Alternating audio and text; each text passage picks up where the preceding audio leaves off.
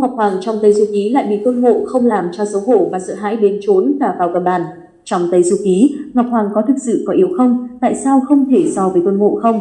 Tây Du Ký là một trong bốn tiểu thuyết lớn ở Trung Quốc cổ đại và là một trong những tiểu thuyết nổi tiếng nhất về thần và quái vật. Trải qua hàng trăm năm, những câu chuyện trong Tây Du Ký đã được mọi người đón nhận, theo thời gian càng trở nên mới mẻ, thậm chí nhiều hệ thống thần thoại cũng bị ảnh hưởng bởi nó. Với sự phát triển nhanh chóng của ngành điện ảnh và truyền hình, phiên bản điện ảnh và truyền hình của Tây Du Ký cũng được đưa lên màn ảnh và được công chúng đón nhận nhiều hơn. Đặc biệt, phiên bản Tây Du Ký năm 1986 là kinh điển nhất và đã trở thành hình mẫu trong lòng vô số người. Thậm chí, nó đang nảy mầm và lớn dần trong lòng mọi người. Bản thân Tây Du Ký đã rất nổi tiếng, nhưng chưa có nhiều người thực sự đọc bản gốc. Loạt phim truyền hình thì khác, nó có sức công khai rộng rãi hơn và tác động lớn hơn. Ngưỡng này thấp hơn nhiều so với tiểu thuyết gốc và hầu hết mọi người đều có thể xem được. Đề cập đến Tây Du Ký, hầu hết mọi người đã đọc nó và tái hiện dựa trên phiên bản năm 86. Trong Tây Du Ký bản truyền hình cũng có một số điểm chưa hợp lý, lỗi lớn nhất là Tôn Ngộ không đại náo thiên cung, đánh vào cao thiên cung, khiến Ngọc Hoàng sợ hãi trốn dưới gầm bàn không dám ra. Điều này hoàn toàn vi phạm ý đồ ban đầu của tác giả nguyên tắc Tây Du Ký, thậm chí có thể coi là thất bại lớn nhất của phiên bản Tây Du Ký bản 86.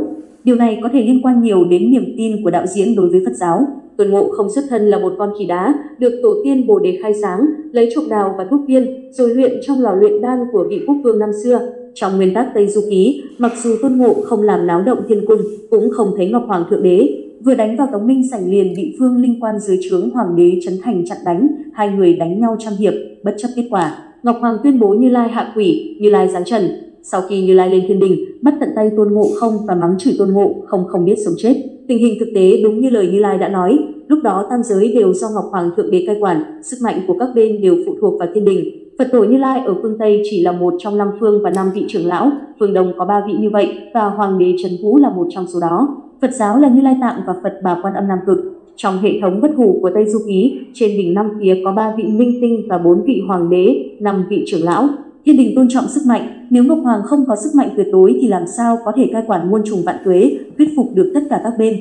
Theo nguyên tắc Tây Du Ký, Tam Thanh Tôn Ngọc Hoàng Đại Đế làm thiên tôn tam giới, địa vị và pháp lực của ông đều xếp trên Như Lai. Trong nguyên tắc cũng không hề mô tả, Ngọc Đế phải chui xuống gầm bàn và cũng không nói là mời mà là hạ chỉ truyền Như Lai. Như Lai Phật Tổ khi đối mặt với Ngộ không đã nói rằng ngươi chỉ là một con khỉ thành tinh, có bản lãnh gì để tranh đoạt ngôi vị thiên tôn. Ngọc Đế từ nhỏ đã tu hành, cực khổ trải qua 1.750 kiếp, mỗi kiếp kéo dài là 129.600 năm. Người tính xem ông ấy đã tu hành bao nhiêu năm. Hơn nữa, sau khi hàng phục ngộ không, Như Lai còn phải nán lại chờ tiếp kiến Ngọc Đế. Khi nói chuyện với Ngọc Đế chỉ tự xưng là Bần Tăng và gọi Ngọc Đế là Đại Thiên Tôn.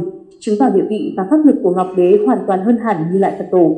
Để tam giới phát triển tốt hơn và cân bằng quyền lực giữa các bộ, Ngọc Hoàng, Như Lai và Thái Thượng Lão Quân đã thảo luận về sự nghiệp lớn của việc học.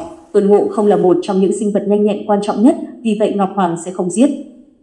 Cảm ơn các bạn đã xem hết tin. Chúc các bạn một ngày vui vẻ hạnh phúc. Đừng quên đăng ký kênh để cập nhật những thông tin mới nhất. Xin chào và hẹn gặp lại.